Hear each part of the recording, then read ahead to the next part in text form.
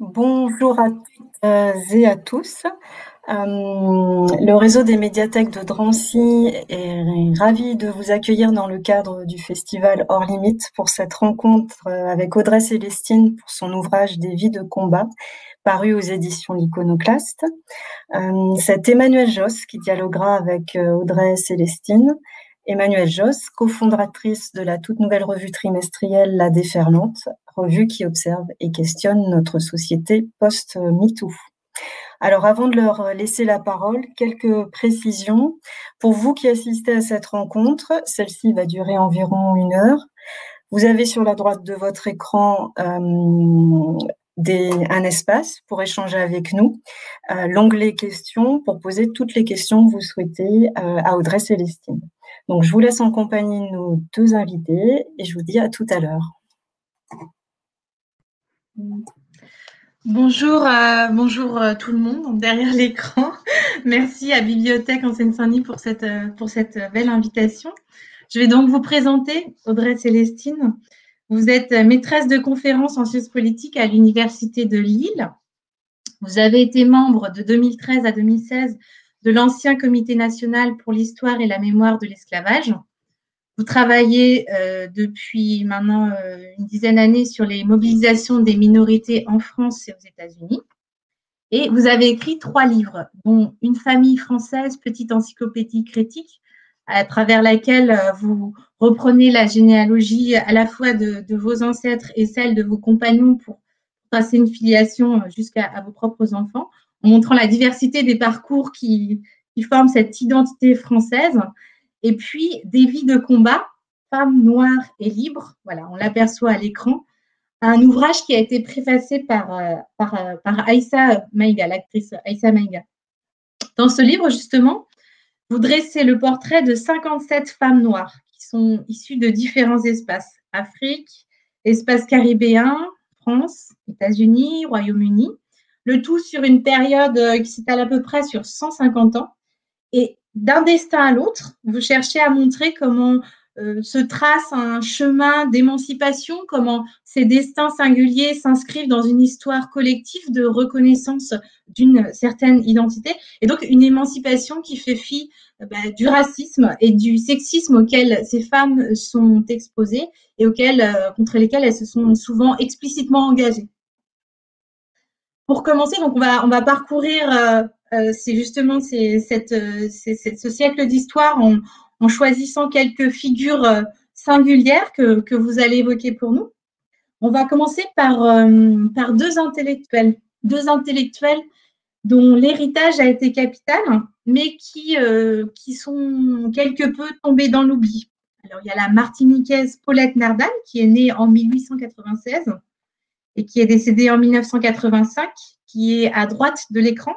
Et puis l'afro-américaine Zora Neale Hurston, née en 1891, décédée en 1960, euh, qu'on voit là à gauche, et qui ont donc euh, toutes les deux euh, écrit un certain nombre d'ouvrages, qui ont été aussi des, intellectuels dans une, réflexion proche des sciences sociales. Zora Neale Hurston anthropologue, Paulette Nardal, professeur agrégé. Est-ce que vous pouvez en quelques mots nous présenter justement ces deux femmes et puis nous dire un petit peu euh, euh, en quoi elles, ont une, elles partagent euh, quelque chose en commun, l'une et l'autre? Bah, merci, merci beaucoup. Hein. je suis très très heureuse de participer au festival et puis d'être d'être en, conversation aujourd'hui avec avec Emmanuel Joss et puis voilà qui est une des chevilles ouvrières de ce beau projet qui est la déferlante. Enfin, donc je suis vraiment contente d'être là et même si c'est dans des conditions qui sont pas forcément celles qu'on qu'on aimerait. Donc merci beaucoup. Effectivement, dans, dans ce livre, j'essaye de retracer des trajectoires individuelles qui s'inscrivent dans une, dans une grande histoire. Et avec ces, euh, et ces deux femmes sont des portraits, enfin tous les portraits sont importants, j'allais dire ces deux, ces deux femmes sont importantes, elles le sont, elles le sont toutes.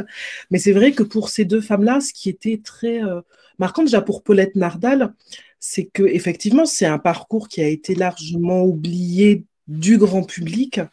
Euh, mais pas de, euh, c'est un certain nombre d'historiennes, de, de chercheuses en littérature. Je dis, euh, je mets tout ça au féminin parce que ce sont, souvent des femmes qui ont travaillé sur ces, sur ces trajectoires. Et donc, depuis quelques années, effectivement, on a tant des collectifs militants que des, que des chercheuses et des chercheurs qui remettent un petit peu en avant non seulement le travail de ces femmes, mais également leur l'héritage de, de, ces femmes. Paulette Nardal, c'est une figure qui est intéressante parce que c'est une femme qui vient de, du monde colonial de la Martinique, mais un monde colonial qui est assez hétérogène et dans lequel, en fait, elle, elle est plutôt une bourgeoise. Elle est euh, de ces familles euh, plutôt mulâtres, comme on dit euh, dans, ces espaces, et qui a un père ingénieur, qui est considéré comme le premier ingénieur noir en Martinique, qui est dans une famille très éduquée et qui voilà, est un peu nourrie à la culture classique européenne. Et, elle arrive en fait en France, elle fait partie de ces quelques femmes du monde colonial qui euh, viennent euh, en France métropolitaine à l'époque pour faire leurs études.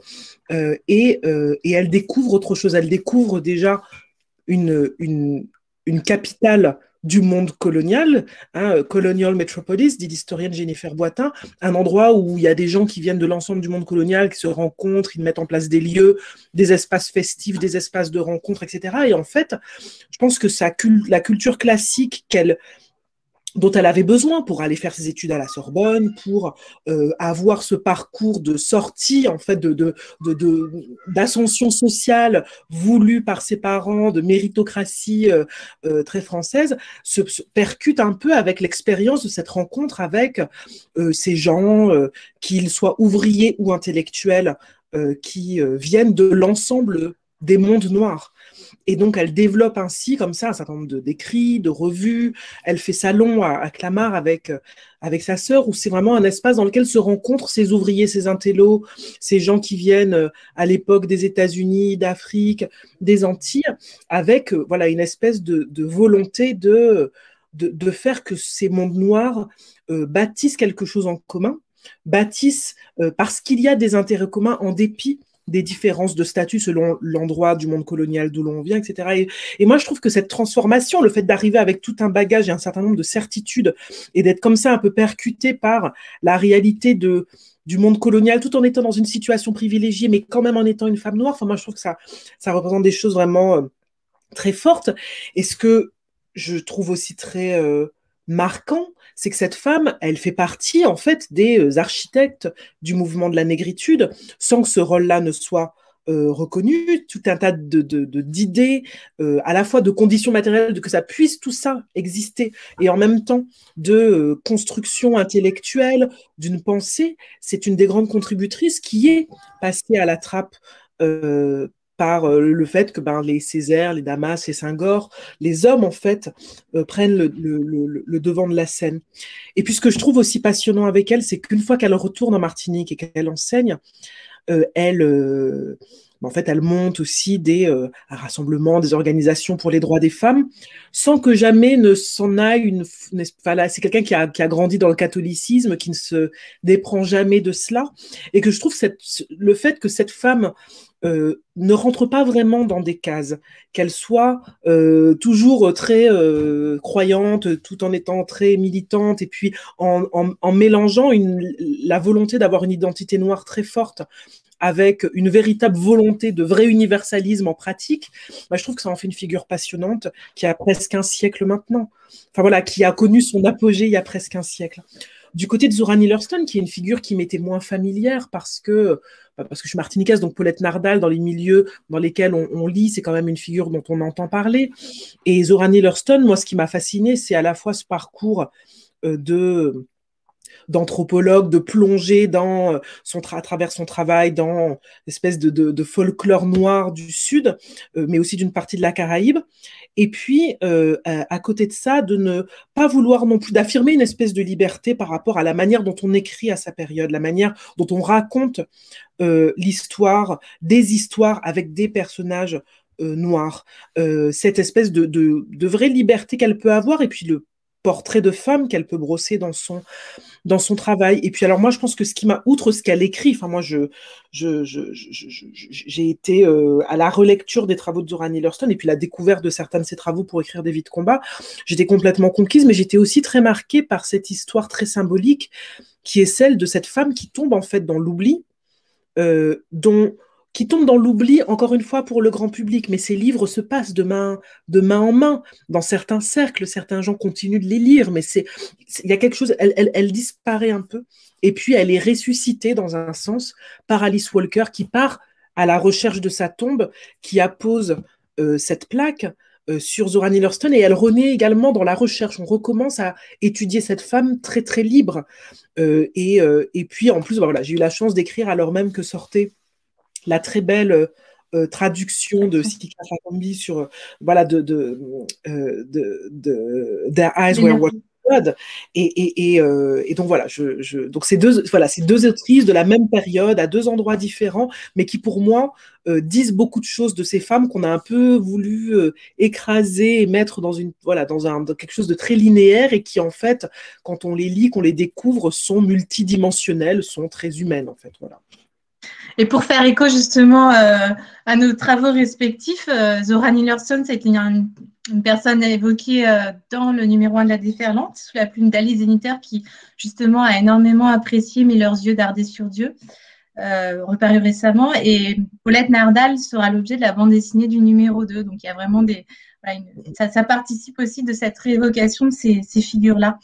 une chose très forte aussi qui marque dans ces deux parcours, c'est que l'une, Zora Neale s'inscrit dans ce mouvement qu'on a appelé la Harlem Renaissance dans l'entre-deux-guerres.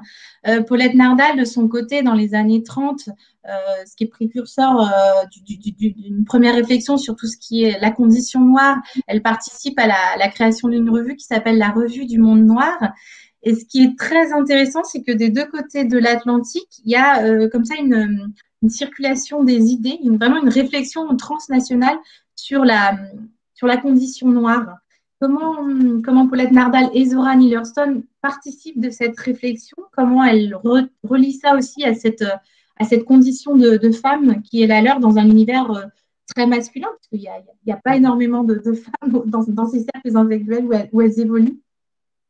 Ben, moi, je pense que le fait d'être une femme, c'est le cas euh, notamment pour, euh, pour euh, Zora Neale moi, je trouve que dans le portrait justement que fait Alice Zeniter dans la, dans la revue, quelque chose de très, euh, très fin sur, sur le fait qu'elle est souvent dépendante de, de, mécènes, de sponsors pour pouvoir continuer à faire son travail et que son travail est en fait assez diversement apprécié de la part même de ces gens du mouvement dont elle, auquel elle participe. Parce que finalement il y a une manière de dire les choses, elle qui raconte ce qui est son expérience à elle, qui est certes romancée, mais qui est, voilà, qui raconte une autre manière euh, de, dire la langue, de dire les expériences, de raconter de la fiction et de finalement faire des portraits de femmes très libres, euh, mais voilà, que diversement euh, euh.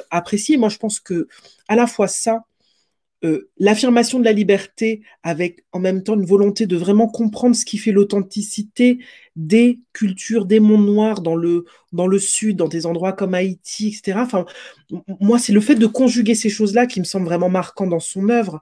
C'est euh, qu'il n'y a pas de comment dire, je pense, voilà, je le mettais souvent en fait en lien avec les débats qu'on peut avoir en France, où on a l'impression d'une forme de, qu'on est un peu coincé entre euh, l'universalisme abstrait et le communautarisme. Donc en fait, on a plein d'exemples de ces femmes qui sont euh, dans euh, une espèce de plongée dans ce qu'on pourrait désigner les identités noires, dans, mm. en ayant bien en tête le caractère fictionnel de ce qu'est la race, mais bien conscient aussi des effets que cette fiction a pu avoir sur, sur la vie, sur la réalité des gens, sur la création, la constitution, l'évolution de culture. Donc de vouloir plonger dans tout ça et en même temps de pas absolument pas être euh, prisonnier euh, de cela, d'affirmer une vraie liberté et d'affirmer vraiment de, que, que, que l'affirmation de cette identité, elle est compatible avec l'universel et avec l'universalisme. Et moi, cette capacité à concilier ça, c'est ce que quelque chose que je retrouve chez l'une et chez l'autre.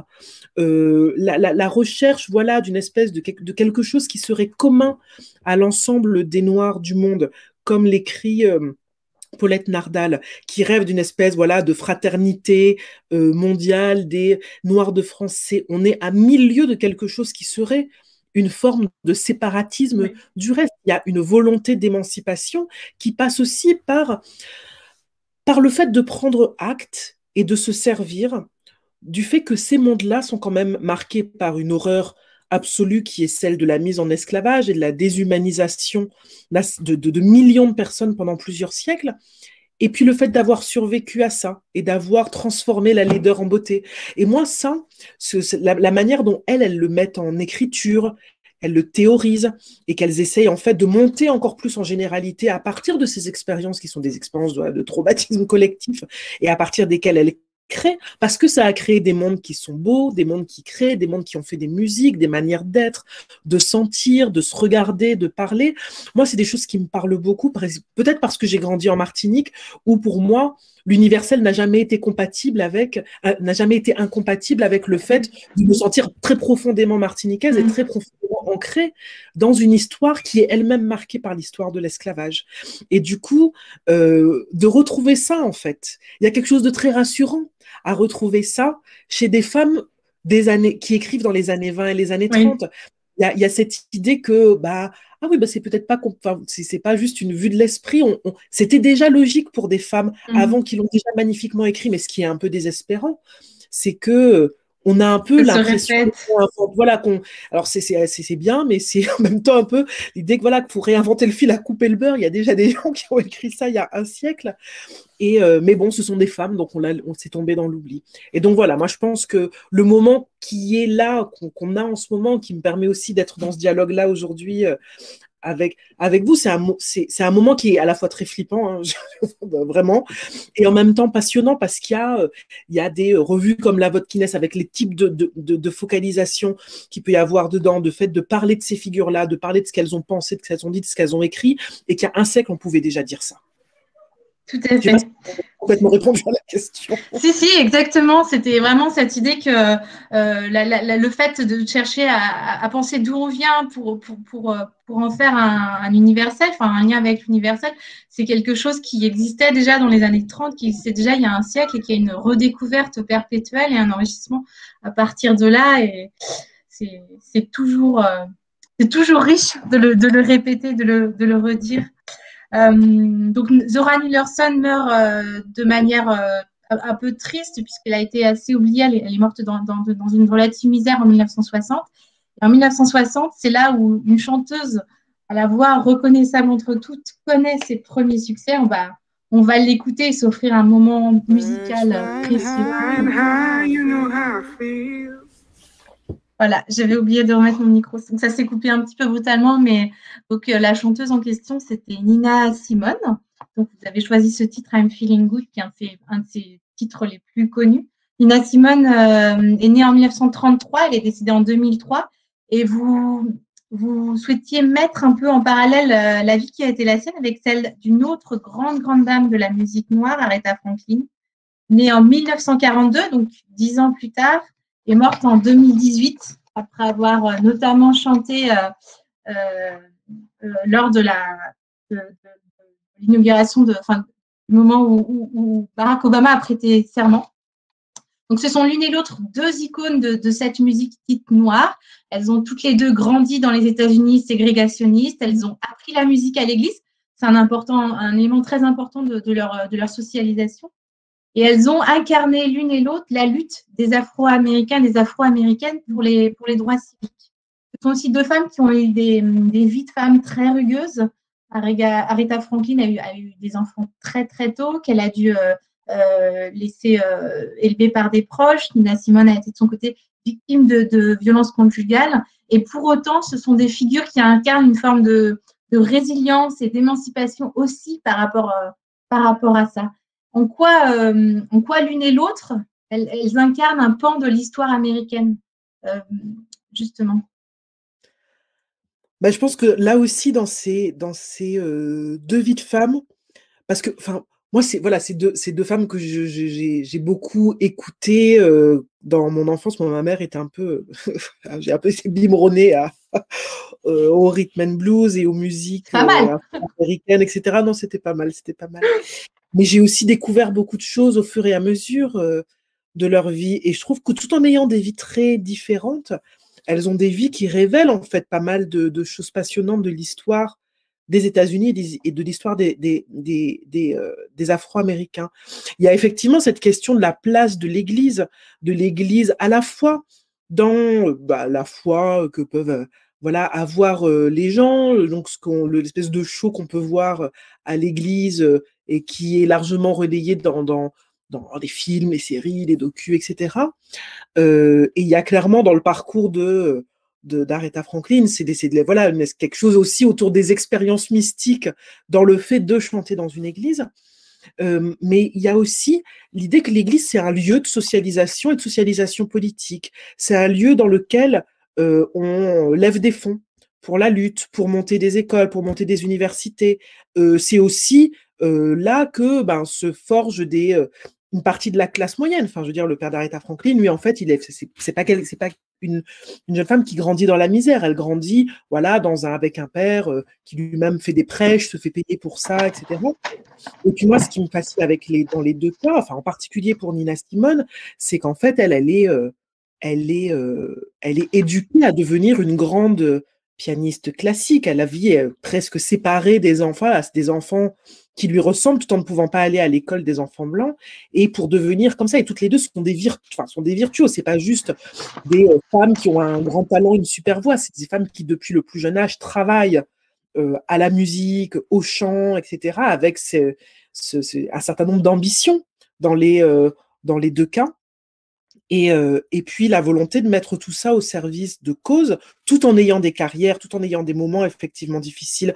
Moi, ce qui me touche particulièrement chez Nina Simone, dont je ne sais pas, voilà, moi je, je lisais des choses sur elle et je me disais, mais est-ce que ça aurait été une copine Nina Simone? Parce que ça avait pas l'air d'être, voilà, c'était un sacré morceau. C'est une femme, euh, voilà, c'est un sacré tempérament, comme on dit. Et, et, en fait, moi, ce qui m'intéressait aussi, c'était l'ensemble des failles qui pouvaient exister dans dans sa vie, le fait qu'elle passe, qu'elle a des crises de violence, qu'elle est, qu'elle est, qu'elle vit des grands moments de, de dépression et tout ça, et que ben ce livre, il se pense aussi comme un truc, un peu un anti des modèles super forts de femmes qui souffrent certes, mais qui sont tellement tellement fortes. Mais c'est aussi des femmes qui qui pètent les plombs, c'est aussi des des femmes qui qui, qui et Nina Simone pour le coup, elle a quelques pétages de plomb, mais qui sont plein de choses, qui sont euh, aussi habitées par une période dans laquelle elles, euh, elles, elles vivent, qui les rend euh, quasiment malades et qu'elles disent qu'il faut qu'elles fassent quelque chose par rapport à, à l'horreur qui est d'être, pour certains, noires dans le sud des États-Unis. Donc voilà, moi, ces deux, ces deux figures-là, elles étaient, pour moi, elles étaient, elles étaient importantes à, à, à mettre en avant. Et c'est vrai que, ben, je pense qu'on peut être très, très critique de de, de, de, Barack Obama euh, et très clairement et de et c'était clairement pas l'entrée dans le post-racial pour les États-Unis. Et en même temps, il faut s'imaginer ce, que c'est pour euh, les gens noirs de ce pays euh, qui ont un certain âge, qui ont l'âge qu'avait Aretha Franklin quand, elle, quand il est élu, de se dire je vais chanter à l'inauguration d'un président noir. Et dans, en fait, dans la politique, les symboles, c'est important aussi. Et que c'est de fait qui est, qui, que tout ça se soit passé dans ces villas, c'était des choses voilà que je trouvais euh, marquantes, que je trouvais euh, touchantes et marquantes et, qui valaient euh, la peine d'être dites. Après, ça faisait partie aussi des figures un peu évidentes que j'aurais eu du mal à, à, ne pas mettre dans l'ouvrage, mais c'est vrai que tous les détails de leur vie, dans, dans un des textes, dans une des biographies un peu autorisées d'Aretha Franklin, le, biographe note qu'en fait, tout le long des interviews, bon, déjà qu'elle se fâche aussi beaucoup, et puis qu'elle clope comme pas possible. Enfin, et moi, ce détail-là d'elle, eh ben, je, je l'ai trouvé aussi euh, marquant parce que c'est pas l'image que j'avais euh, que j'avais euh, que j'avais d'elle, et que ça dit aussi quelque chose, enfin, le, le, de fumer de façon un peu compulsive, alors même que la voix et son instrument, mmh. c'est quelque chose. ça dit quelque chose aussi de, l'anxiété, du rapport à l'anxiété, tout ça. Et donc voilà, moi, c'est, euh, euh, c'était important de, d'essayer en tout cas de distiller dans leurs deux portraits euh, à la fois ces éléments de la grande histoire afro-américaine et puis ces, petits, ces petits détails qui les rend aussi très humaines et qui font que en dépit du statut presque monumental qu'elles peuvent avoir, il y a quelque chose de l'ordre de l'identification qui se fait aussi lorsqu'on est une femme et qu'on les lit, et puis peut-être même quand on n'est pas une femme, mais qu'on les lit. Et donc, c'est voilà, c'est de ça que j'avais de, de, quelque chose de très incarné. Est-ce que, euh, dans la mesure où aujourd'hui, ce sont des figures euh, euh, très puissantes, alors il y a peut-être une, question Oui, oui. Emmanuel. une question avec un parallèle par rapport à la France. que pensez-vous du mouvement des femmes artistes noires en France lancé par Issa Maïga? Qu'est-ce qu'il révèle de notre société? Alors, ah ben, j'en pense plutôt du bien. Euh, j'en pense plutôt du bien. Qu'est-ce qu'il révèle? Bah, En fait, je vais, je vais, je vais raconter. dans, dans, le livre, il y a aussi un portrait de Darling Legitimus. Darling Legitimus qui a fait, qui a eu 150 rôles dans sa vie et qui euh, a son premier rôle, euh, son premier premier rôle dans une et, des prix pour ce rôle avec Rue Cazenègre dans le film de Zane Palsy, qui a aussi un portrait dans le livre. Et dans les années 50, elle fait partie d'une troupe, euh, les Griots, qui est une troupe qui se monte pour, euh, bah parce qu'ils en ont en fait, euh, ils sont un certain nombre à en avoir marre, et elles sont un certain nombre à en avoir assez dans les années 50 à avoir des rôles de bonnes, de nounous, de prostituées, et donc voilà, elles décident de monter cette troupe pour, pour, voilà, pour jouer des pièces, des, pour jouer un petit peu autre chose. Et donc ça, c'est très marquant, c'est dans les années 50 et dans les années 60. Et puis dans les années 80, quand je fais le portrait de France Zobda pour le bouquin, je me rends compte que France Zobda aussi, 30 ans plus tard, elle a monté une association euh, parce que, ben, euh, elle, euh, c'est un autre cliché, c'est la jolie métisse sexy. Et donc, elle a toujours des rôles de jolie métisse sexy et qu'on en a ras-le-bol et qui sont un certain nombre comme elle. Et du coup, ben, ils montent un collectif et qui va s'appeler les griots aussi pour rappeler le premier collectif, bah pour euh, voilà euh, se dire bah, on va se donner nous-mêmes des rôles euh, de autres quoi. Et puis dans le film d'Addis Diop, La mort de Danton, bah, il y a un jeune homme noir à qui on donne que des rôles de noir et qui hein, lui il adorerait jouer Danton et et, et bah, il joue le chauffeur dans Miss Daisy et son chauffeur et, et, et parce que le, le le, prof de théâtre euh, est embarrassé par cette espèce de présence euh, qui ne sait pas quoi faire de ce, de ce type. Donc, du coup, il, donc, il attend les rôles de noir à lui donner.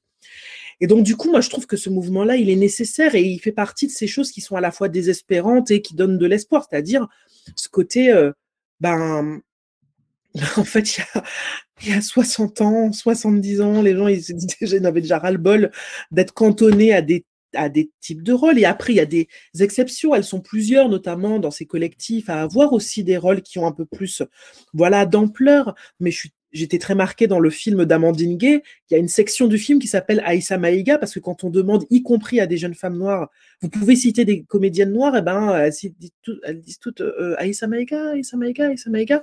Et du coup, enfin, euh, voilà, moi, je, pense que c'est un mouvement qui est, euh, qui est important qui est important parce que ben, la, même si la représentation c'est pas tout, c'est quand même important. c'est quand même important que et c'est et, et, quelque chose qui devrait être vraiment soutenu, qui devrait être vraiment soutenu parce que parce que ça fait des, des dizaines d'années que ça dure. Et dans le portrait de Jenny Alpha, c'est le même souci, c'est la même question, c'est le même problème, ne pas pouvoir jouer des pièces du répertoire classique parce que ben non, c'est pas trop pour toi. Toi, tu seras un joli petit colibri des îles.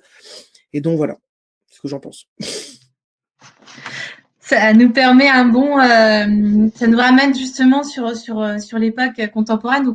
vous avez parlé là de du secteur culturel, la question de la représentation. Les, les débats sont parfois aussi incarnés euh, de manière très politique par ces deux personnalités, notamment que qu'on va évoquer maintenant. Christiane Taubira, d'abord, qui est née en 1952, qui est l'ancienne ministre de la Justice euh, sous la présidence Hollande. Et puis Assa Traoré, qui elle est née en 1985. Elles ont l'une et l'autre des, parcours assez différents. Euh, Christiane Taubira qui vient, euh, qui vient de Guyane, Assa Traoré qui, est descendante de l'immigration postcoloniale. Mais ce sont justement deux femmes noires très engagées dans le débat public et qui sont victimes, à la fois qui marquent une visibilité et qui, un moment de visibilité de ces femmes-là, mais qui sont euh, aussi l'une et l'autre victimes d'attaques très violentes, à la fois euh, racistes et sexistes, et, euh, et en même temps la porteuse d'un charisme incarnant justement quelque chose de, très fort.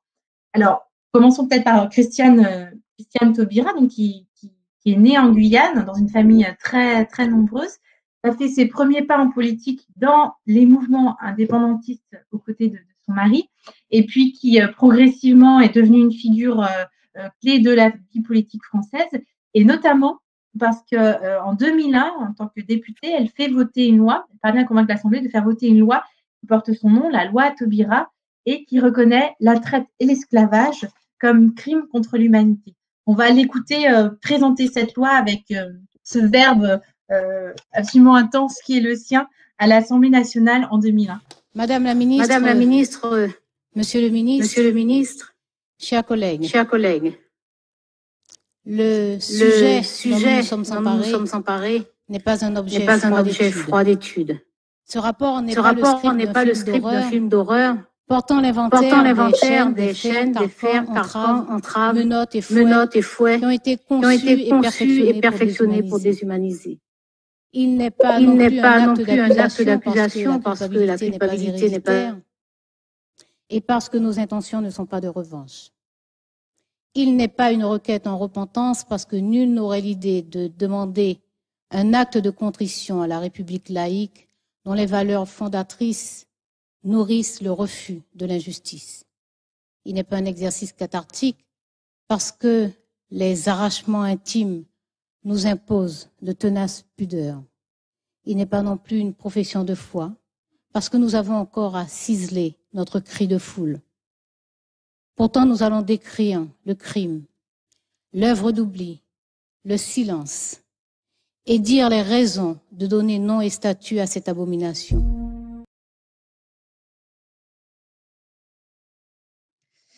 Voilà donc le voilà avec quel mot Christiane Taubira a introduit euh, la loi qui ensuite a été votée par l'Assemblée nationale sous le gouvernement Jospin, des mots qui donnent vraiment le frisson, puisque euh, que ce soit pour citer des, poètes euh, ou que ce soit avec ses propres mots, c'est vraiment une des plus grandes oratrices de la vie politique française à l'heure actuelle. Euh, Audrey Célestine, vous êtes membre de l'ancien Comité national pour l'histoire et la mémoire de l'esclavage. Vous êtes désormais, euh, vous faites partie du conseil scientifique de la Fondation pour la mémoire de l'esclavage qui lui a succédé. Est-ce que c'est possible de nous, de nous expliquer l'importance de cette loi, en quoi elle a été un, un apport historique réel dans la, façon dont, l'histoire française a, regardé euh, l'esclavage et la société française a, euh, a- pris en compte ce, crime, euh, ce crime historique. Je, pense, je pense que cette, loi qui fête d'ailleurs ses, ses 20 ans cette année, au mois de, mai, elle, intervient en fait à la fin d'une séquence qui commence, bah, qui commence il y a des siècles, mais qui, en fait, là, politiquement, commence quelques années plus tôt. Moi, Christiane Taubira, je l'ai découverte euh, en 92, donc j'étais petite, j'avais 12 ans, euh, au procès de Christophe Colomb qui avait été organisé en Martinique, euh, qui était en partie télévisé, et c'était, voilà, et donc elle avait, c'était une espèce de, faux procès de Christophe Colomb qui était organisé pour les 500 ans de la découverte des Amériques. Et effectivement, il y avait déjà ce verbe, mais il y avait aussi des choses qui agitaient surtout euh, l'outre-mer, comme on dit, et puis certaines communes, euh, Bordeaux, euh, Nantes, principalement. Et, et- et c'est vrai qu'il y a tout un tas de mobilisations, des mobilisations notamment en 1998 au 150 de l'abolition de l'esclavage, qui vont con- continuer à essayer de faire émerger cette question-là dans le débat public français. Et puis il y a le moment, effectivement, autour de la loi. Mais ce qui est très important, c'est effectivement toutes ces prises de parole, l'écriture de rapports, euh, c'est tout ce que ça a permis, en fait, tous les débats qui comprennent d'ailleurs au départ euh, des questions autour des réparations qui sont vite abandonnées parce qu'on a besoin d'une loi, d'une loi qui est votée à l'unanimité. Et une des choses qui est assez terrifiante avec la période actuelle, c'est que je ne suis pas sûre que cette loi serait votée à l'unanimité aujourd'hui. Mais elle l'est à l'époque.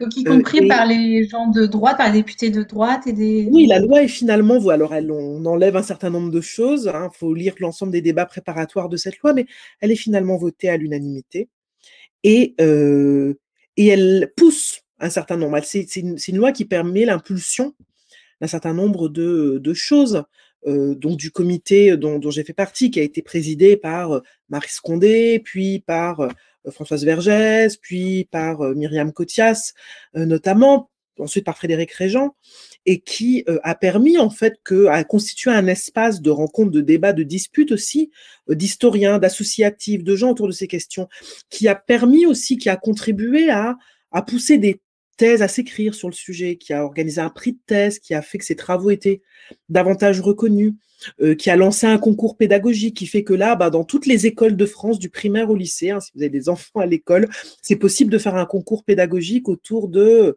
de, de, l'esclavage, des abolitions, de la traite, et que tous les ans, en fait, il y, a de plus en plus de gens qui, qui est passé. C'est vrai que ben, le, le, le, le, travail de Christiane Taubira, puis Laura qu'elle peut avoir jusqu'à aujourd'hui, voilà, une photo magnifique, permet de, à ça d'être posé. Et, et, je pense que la, portée symbolique de ce qu'elle a pu lancer est à la mesure, en fait, de, de tout ce qu'elle de tous les de tous les voilà de la violence de qui, qui, qui, est celle de ces des gens qui la qui, l'attaquent euh, lorsqu'elle prend la parole etc et puis bon voilà et puis effectivement elle a une une, une comment dire un, un, verbe qui est particulièrement impressionnant mais qu'effectivement elle montre aussi à quel point il est coûteux d'être une femme noire dans l'espace public français. Je pense que c'est ça enfin voilà que mmh que, de, fait, c'est quelque chose de coûteux, quelles que soient les options euh, politiques, et que pour elle, qui en plus incarne quelque chose qui est à la fois, moi, ce que j'appellerais un vrai républicanisme, euh, quelque chose de...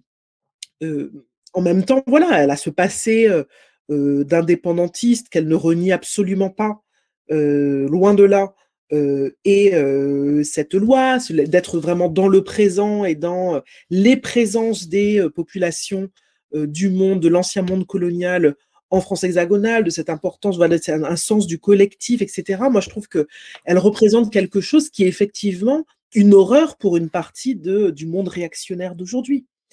et puis, effectivement, moi, je, je, je parle d'elle dans le portrait sur, sur Assa Traoré parce que j'avoue que je, suis effarée par le niveau de, de violence contre une femme qui se bat parce que son frère est asphyxié il y a moins de cinq ans. Enfin, je veux dire, je, pense qu'on est, en fait, on perd complètement la mesure des choses. C'est ce que, c'est ce que disait il y a une fois sur un plateau. Enfin, elle disait, attendez, on parle d'un être humain qui est mort, qui est passé de vie à mort. Et effectivement, moi, j'y étais pas, plein de gens n'y étaient pas. Il y a euh, une enquête, mais avec des choses effectivement qui sont problématiques. Et heureusement qu'il y a cette espèce de, de locomotive de femmes pleines d'énergie qui très clairement aurait préféré faire autre chose de sa vie. Aurait préféré faire autre chose de sa vie. C'est quelqu'un qui a des gamins, qui avait une carrière, qui avait, euh, qui avait une vie et qui maintenant euh, est non seulement le relais pour l'affaire qui concerne son frère, mais qui est également celle de tout un tas d'autres familles dont personne ne parle jamais.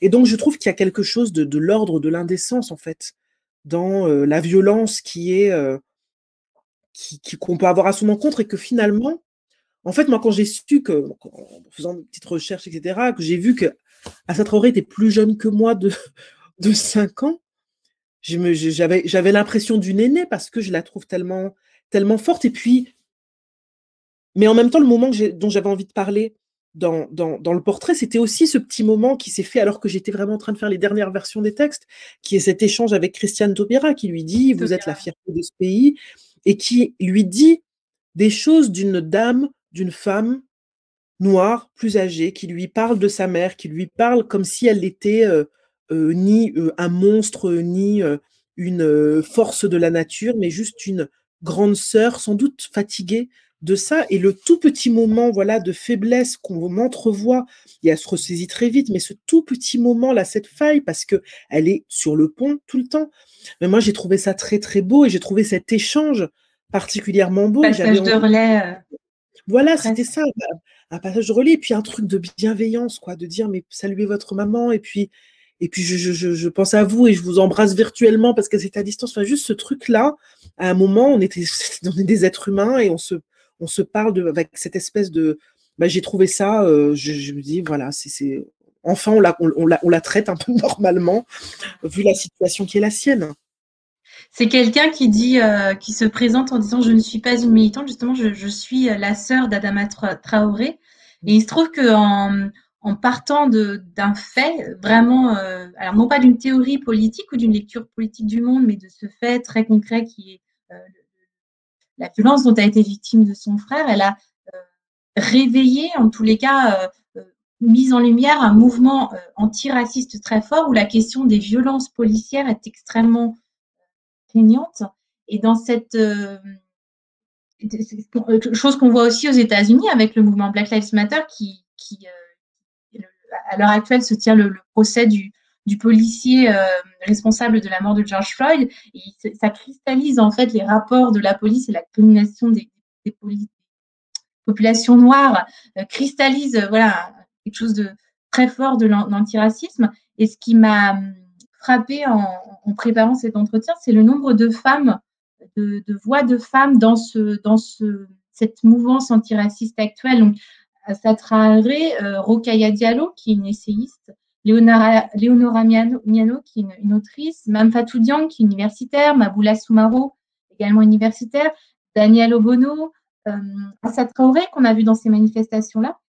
Est-ce que euh, est-ce qu'il y a une raison à la, la présence très forte de cette femme Parce que assez spontanément comme ça, j'aurais j'ai l'impression que les mouvements antiracistes, leur, leur, leur, vigueur actuelle est, est, incarné par beaucoup de, femmes, beaucoup de figures féminines en fait.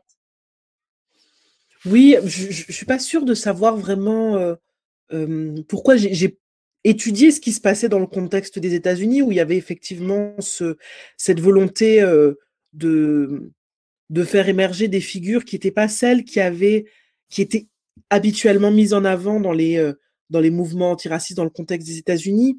Je pense qu'il y a quelque chose qui est moins coordonné dans le contexte dans le contexte français, euh, mais qu'effectivement la mise en visibilité, parce que les mouvements antiracistes effectivement sont beaucoup plus anciens, il y a tout un, il y a des mouvements depuis des mmh. dizaines d'années qui sont souvent très localisés, qui sont dans des quartiers, euh, etc., et qui, qui, qui, existent depuis, euh, depuis longtemps, mais effectivement là on a quelque chose de, de je saurais pas le dire, je pense que je l'attribue en partie à le fait que la, enfin, le nombre appelle le nombre, que la multiplication des voix incite aussi de plus en plus de gens à s'exprimer sur le sujet, et notamment des voix qui se seraient peut-être tues avant ou qui n'auraient peut-être pas été entendues. Donc je pense qu'il y a aussi quelque chose qui est de l'effet d'entraînement. Je ne sais pas si c'est une réponse complètement satisfaisante, et puis il faudrait sans doute l'étudier plus, plus, plus en détail, mais effectivement, cette présence de femmes. Après, il se passe quelque chose du côté notamment des euh, mobilisations de, de, de, femmes noires qui se sont... Euh, dans le contexte français, je pense qu'être une jeune fille noire en France aujourd'hui, c'est avoir malgré tout accès plus vite à plus de ressources en ligne, de, de, de, de, de, blogs, de gens sur Instagram, de militantes afroféministes qui montent des pages, des groupes, des choses. Enfin, je veux dire, il y a toute une communauté en ligne que moi je trouve assez fascinante, enfin, qui, euh, qui échangent des choses et tout. Et donc, il y a quelque chose qui se passe du côté. Et puis après, il y a des organisations qui militent, qui, euh, qui écrivent, qui théorisent, qui, euh, qui font beaucoup de choses depuis, euh, depuis maintenant plusieurs années, hein, que ce soit le collectif Case Rebelle, moi aussi. Enfin, il y a plein de gens qui. Il y a, il y a des mmh. actrices, en fait, des mouvements qui sont très. qui écrivent beaucoup. La, la, la, la, la pensée circule aussi beaucoup. Et du coup, enfin voilà, je pense qu'il y a quelque chose qui se passe et qui est peut-être aussi favorise le fait que ces voix-là soient, entendues aujourd'hui. Et du coup, dans le dans cette, dans cette vous, vous insistez beaucoup sur la notion de, transmission. C'était ce qui était présent dans l'image de Christiane Taubira et d'Assa Traoré. Vous avez euh, également euh, écrit, euh, écrit, cet ouvrage que, j'ai évoqué rapidement, Une famille française, où on réalise que l'histoire française c'est un creuset, en fait, pour reprendre cette expression de, de l'historien Gérard Noriel une grande diversité dans votre famille, une grande diversité de, de vécu, de géographie. Euh, qu'est-ce qui vous a amené à, justement à partir de, votre histoire singulière, de celle de vos filles, pour, euh, voilà, pour rattacher ça dans, une, dans une grande histoire? Ça, c'est la première chose. Et comment euh, vous, vous parliez tout à l'heure du fait qu'on vivait dans un moment à la fois flippant et en même temps passionnant. Est-ce quels sont vos vos appréhensions, vos espoirs peut-être pour, pour, le futur par rapport à cette, ces, ces, expressions de lutte qui sont très fortes, mais qui euh, sont aussi le fruit d'un backlash très puissant. Ouais. Bah, une famille française, je l'ai écrit parce que j'avais euh, j'avais envie d'écrire un bouquin qui soit pas pour mes collègues, même s'il y en a un certain nombre, qui, un certain nombre de collègues qui l'ont lu. Mais j'avais envie en fait de, de, de, de, de, parler de la question du passé colonial, de la racialisation, etc. De façon très, très. Moi, je crois beaucoup à l'incarnation. Je dis souvent que je suis une littéraire contrariée. Et, et j'avais envie, en fait, de, de raconter des choses qui me paraissaient presque voilà, communes parce que je, je, lis des bouquins d'histoire et de sociaux sur ces questions-là. Et je me dis que, ben, en fait, les incarner à partir d'une histoire familiale qui serait la mienne est un beau pari. C'est une belle manière, en fait, d'intervenir dans, dans, dans, le débat public. Ça se passait aussi, voilà, au, niveau personnel. Moi, j'ai perdu deux, grands-parents juste avant de commencer à écrire dont une grand-mère dont j'étais très proche. Et donc, c'est la, question du, de la transmission est devenue était aussi importante et, forte pour moi. Et puis, le, perdre deux grands-parents m'a fait me rendre compte du fait qu'il y en avait quand même quatre de l'autre côté, que j'avais cette chance-là, et qu'en fait, il fallait faire parler tous ces gens. Et en fait, inscrire le fait que, y compris chez les blancs de cette famille, l'histoire coloniale, elle n'était jamais très très loin et que raconter ça de manière très incarnée, raconter comment c'est tous ces gens qui étaient tous des ascendants de mes filles, quels étaient leurs rapports au monde colonial, que le, le colonial, c'est pas loin là-bas, c'était ici aussi, et que de loin là-bas, en fait, il y avait aussi une partie de ces gens-là, que c'est dans ma famille qu'il y a les gens qu'on désigne comme noirs et que c'est aussi dans ma famille que tout le monde quasiment est français à quatre générations, mais que c'est pas le cas de l'autre côté où c'est des Espagnols. Et passer par, par, par, plusieurs endroits du, de, différents empires coloniaux. Et du coup, de raconter ça, qui était une sorte à la fois d'hommage à tous ces gens que j'aime beaucoup, mais aussi de me dire, bah, je vais utiliser leurs petites histoires pour raconter quelque chose de la grande histoire. C'est quelque chose qui me, qui me marquait parce que j'étais aussi marquée à l'époque par, par des discussions qu'on pouvait déjà avoir, déjà sur un mode hystérique, hein, mais sur la question de la non-mixité, sur des questions de, de racisme, de concerné, de l'usage du terme racisé, etc. Mais que au lieu de, de de, de, de, faire comme si, euh, comment dire, euh, en fait, j'avais envie de raconter une histoire qui soit pas une espèce d'histoire de mais voyez le métissage, tout le monde est heureux et tout va bien, qui est un truc auquel je crois absolument pas, euh, de raconter ce que ça, comment la race a en fait pas les mêmes effets sur des gens qui sont pourtant dans la même famille. Mmh. Comment des gens qui viennent de milieux de classe populaire aux mêmes périodes bah, vont pas non plus vivre exactement les mêmes choses selon que qui sont racisés ou pas et que ça n'empêche ça n'enlève rien aux expériences communes comme accéder à un logement HLM dans les années 60, ce qui est une grosse étape pour les gens des classes populaires, que ce soit à Dunkerque ou à Toulon, mais qu'en fait, est, appelé négresse à plateau dans la cour d'école, bah, ça marque une vie. Ça marque une vie et ça et, ça heurte et ça blesse et que ben vaut mieux ne pas avoir entendu ça à l'école que l'avoir entendu. Que y compris quand on vient de milieux très populaires ne pas avoir été altérisé dans la cour de l'école ne pas être envoyé en permanence à un ailleurs et ben ça change aussi le cours de la vie et ça veut pas du tout dire qu'on n'est pas capable de vivre ensemble ou de faire famille et la preuve. En revanche prendre acte de ces choses là c'est important et du pas juste dire aux gens comme le font certaines essayistes en ce moment, bah, t'as qu'à serrer les dents parce qu'au final, regardez le métissage, c'est super. Bah non, en fait, c'est pas comme ça que ça se passe. Et, euh, et, du coup, ben, je, je voilà, j'avais envie de raconter ces, ces histoires-là, de parler du commun, mais du vrai commun, hein, euh, le HLM, euh, le rapport à l'école, la guerre dans l'enfance, vraiment. Et puis en même temps de de raconter ce qui différencie les expériences et que des expériences différentes n'impliquent pas qu'on vive pas ensemble, mais par contre, on peut en prendre acte et essayer de d'en faire quelque chose pour justement continuer à vivre ensemble. Et donc, je pense que c'est, moi, je vois la réception, c'est pas un bouquin qui a eu un succès de ouf, hein, mais, mais au, au, petit message que j'ai pu recevoir et puis à ce que ça, ce que ça a pu provoquer, ce que ça peut susciter, ce que ça m'a permis de mettre en mots aussi, ben, euh, euh, et de voir que c'était aussi des manières de, de, voir les choses, les envisager qui pouvaient être partagées. Euh, ça me donne beaucoup d'espoir et puis de voir qu'il y a plein de choses très belles qui s'écrivent en ce moment.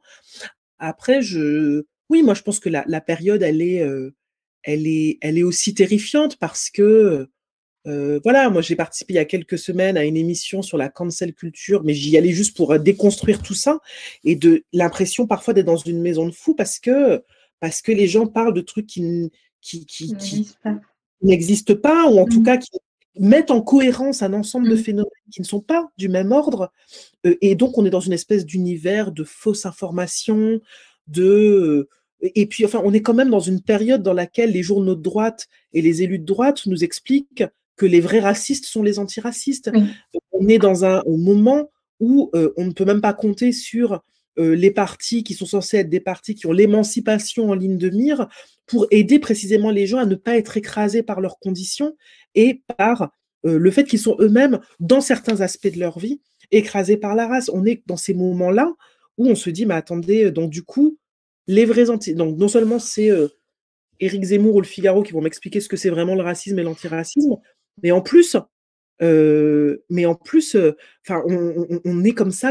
Enfin voilà, on est dans une inversion un peu de tout, avec vraiment ce sentiment d'être mmh. dans, une maison de fou. Donc c'est sûr. c'est pas pour faire la pub de la déferlante, mais c'est vrai qu'en me plongeant dans les articles, j'étais là, on avait quand même des raisons d'espérer.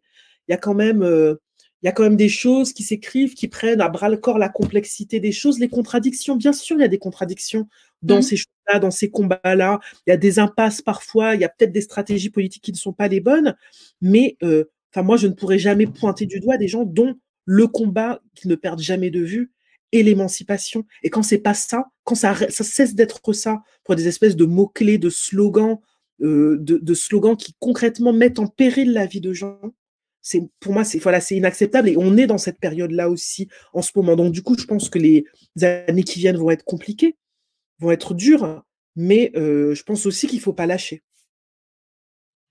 Super. Bah, écoutez, euh, merci Audrey. Je vais me tourner vers euh, le public virtuel en ligne pour savoir s'il y a peut-être des questions par rapport à ce qui a été évoqué, ce qui n'a pas été, en recommandant encore une fois vivement la lecture de Vie de combat, qui est un, très très bel ouvrage qui se lit en plus avec beaucoup de plaisir. Ça sent que vous êtes une littéraire contrariée.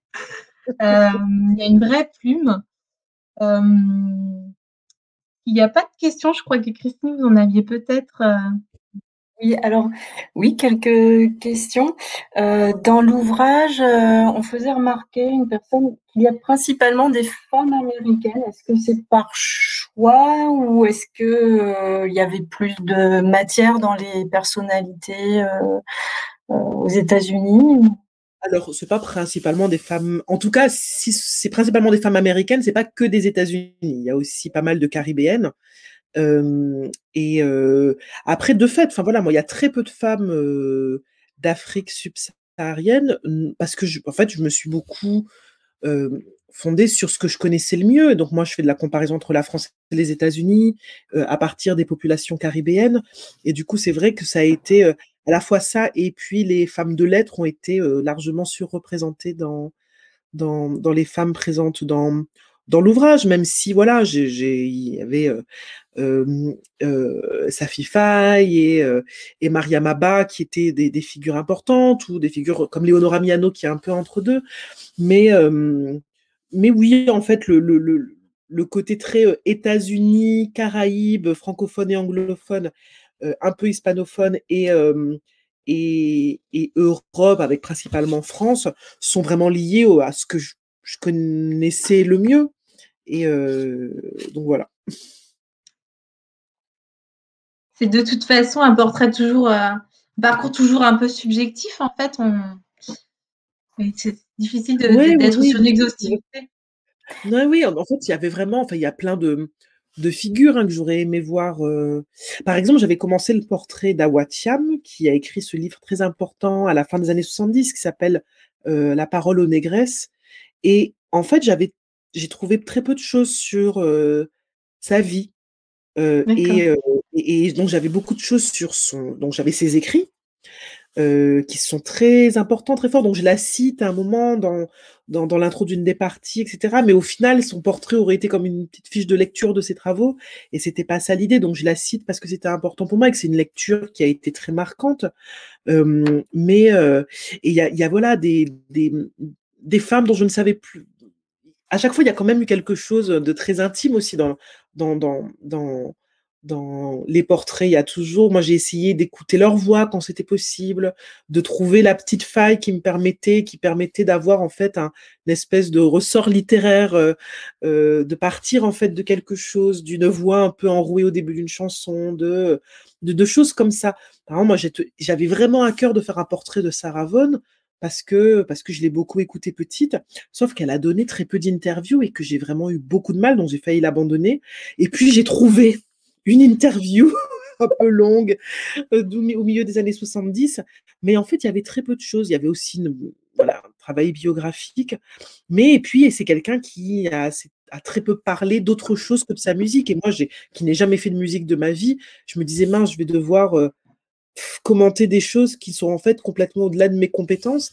J'ai finalement réussi à, à, à, faire ce portrait, mais c'est vrai que c'était un jeu d'équilibriste à chaque fois et que ben plein de et que je me dis aussi que j'aimerais bien que ce livre-là soit comme une voilà une espèce d'inspiration pour que d'autres euh, euh, femmes soient euh, soient présentes. Il n'y a pas Belle Hooks dans, dans le bouquin, il n'y a pas euh, il y a pas euh, Kimberly Crenshaw, il n'y a pas après c'était pas non plus un bouquin sur les théoriciennes, mmh. mais c'est vrai qu'il y a plein de d'autres femmes, d'autres figures, euh, Edwige d'Antica, que j'aurais aimé voir dans, dans, ce bouquin, des voilà, donc euh, je pense qu'à vos, à vos plumes. Ou alors à vous d'écrire un tome 2. D'autres vies de combat. ouais, ouais, ouais. Alors, une, une autre question. Est-ce que vous avez pensé à adapter des vies de combat pour le jeune public? Euh... Alors, ouf, ouf. pas directement. Alors, disons que voilà, ma fille de 12 ans l'a lu et a réussi à le lire. Donc, alors déjà, pour les jeunes ados, ça fonctionne. ça fonctionne. Euh, oui, c'est une chose que j'ai un peu en tête. Après, je dois avouer que... Oui, c'est quelque chose que j'ai un peu en tête.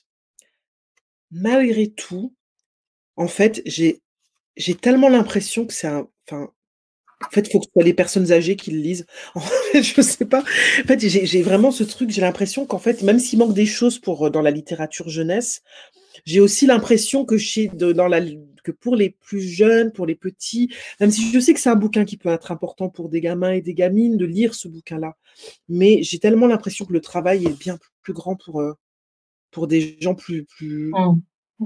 plus âgés, en fait, qui, qui, mmh. clairement sont un peu à la ramasse sur un certain nombre de questions autour de ces, de ces enjeux-là. Mais oui, j'y ai, j'y ai pensé. Je, je, j'y ai un peu pensé, mais je, je crois que je ne suis pas encore euh, prête à, à écrire euh, pour les plus jeunes, mmh. euh, pour les petits en tout cas, mais en tout cas pour les jeunes ados, je pense que c'est que c'est lisible.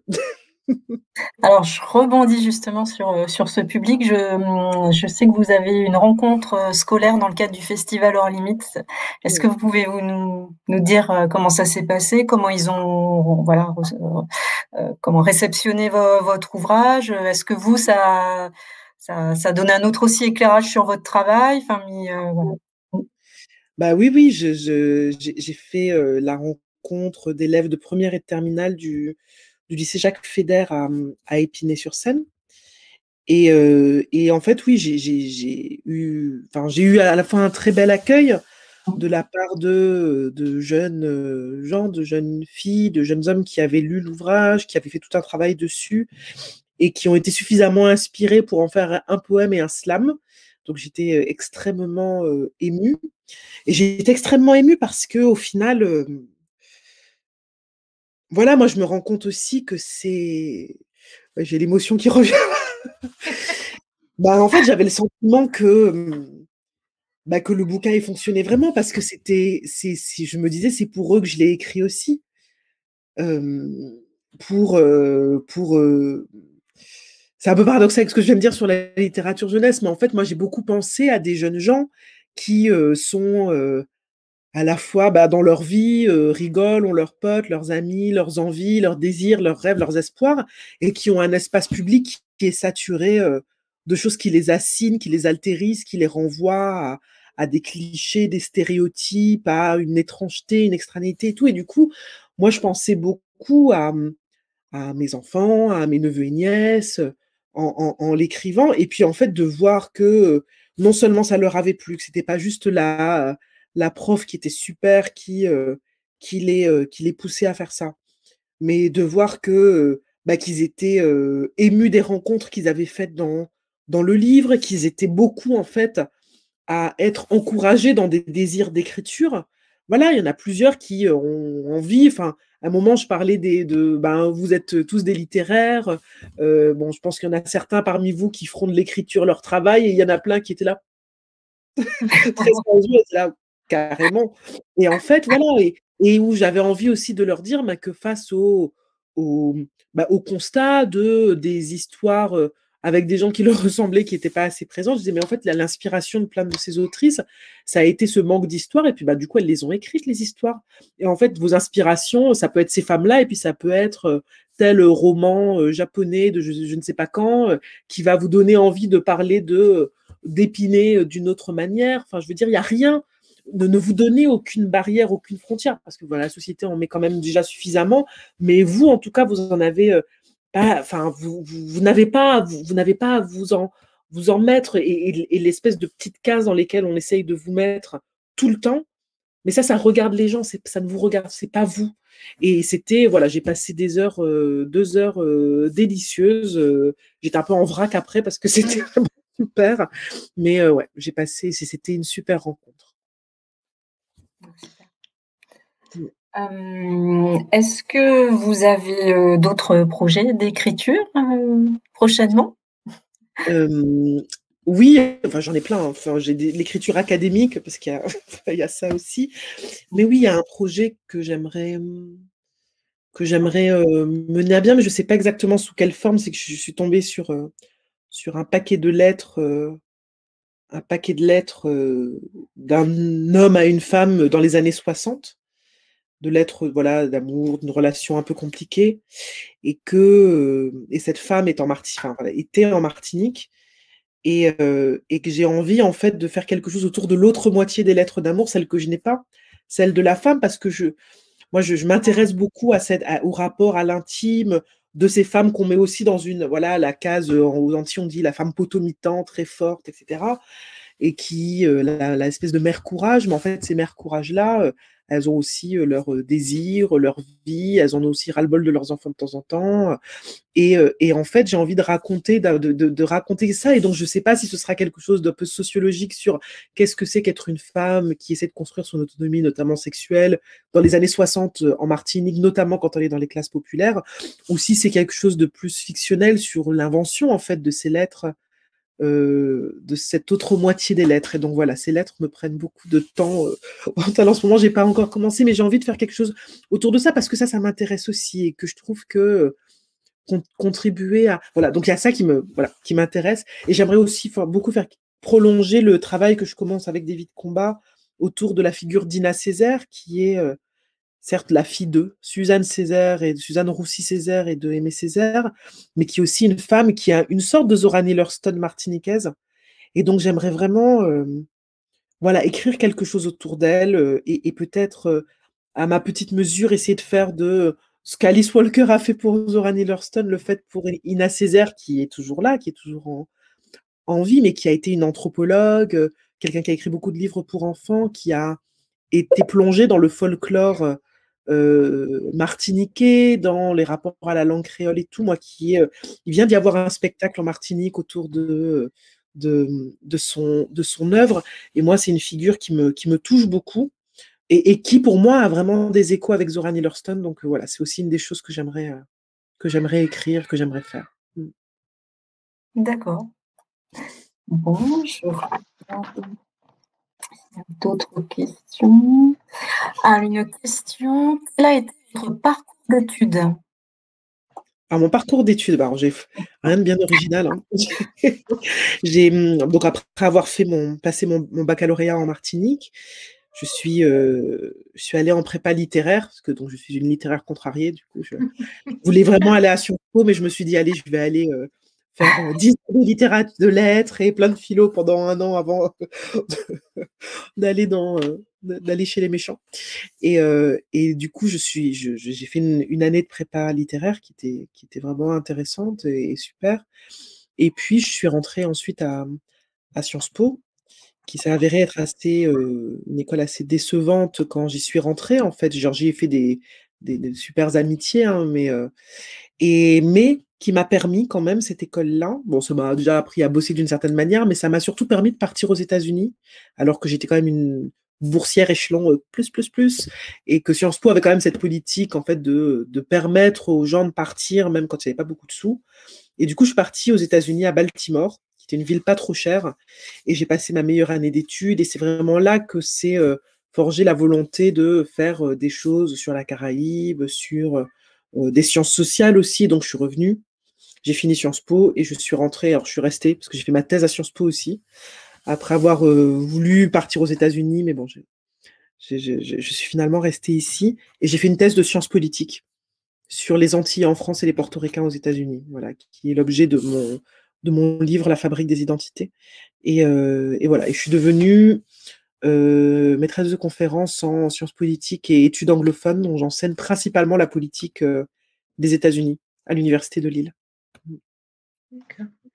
Et, et, vous avez eu un sentiment à titre personnel de, de déracinement euh, venant de Martinique, arrivant à Sciences Po quand même une école justement sur une socialisation très particulière, une fabrique des élites. Enfin, est-ce que ça a été une, expérience marquante, y compris à titre euh, d'expérience sociologique euh?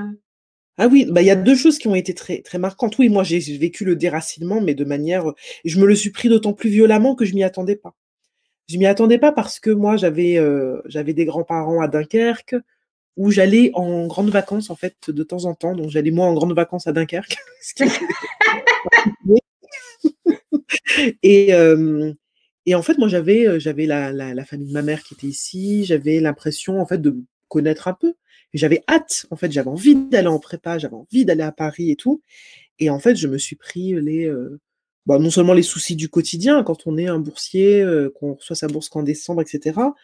Et puis la prépa, la, violence de, ce qu'il peut y avoir en prépa, même si j'étais avec des camarades assez bienveillants, mais de, ce travail, d'avoir été toujours la première et d'avoir quatre quand on travaille pas et cinq quand on travaille, euh, de, le froid, perdre 15 degrés euh, en, quelques semaines, euh, le gris, le, le, métro, enfin genre moi ça a été, je me suis pris ça vraiment comme une, et j'ai été très très très très déracinée. Euh, et en même temps, très content d'être avec plein de camarades qui adoraient lire comme moi, qui étaient, enfin voilà, moi j'aimais beaucoup ça.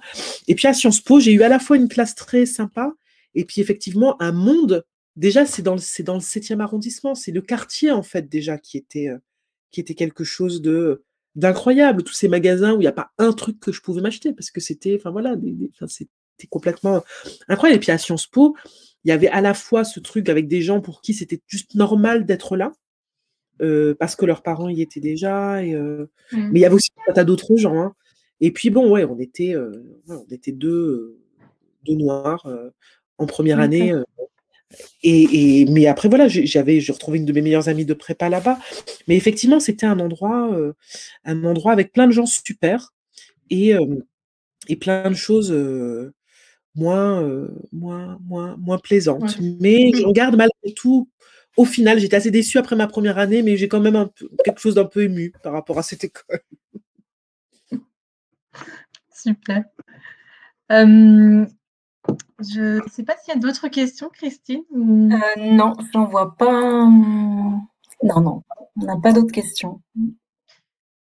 Euh, bien, du coup, on va, on va peut-être arrêter là à 19h, 19h10 en vous remerciant, euh, Audrey Célestine, en conseillant encore une fois la, lecture euh, des vies de combat. On en a beaucoup parlé, mais aussi d'une famille française. Et puis en espérant que bientôt on aura la chance de, de, vous, de vous relire, parce que, parce que vos projets sont très alléchants. Voilà.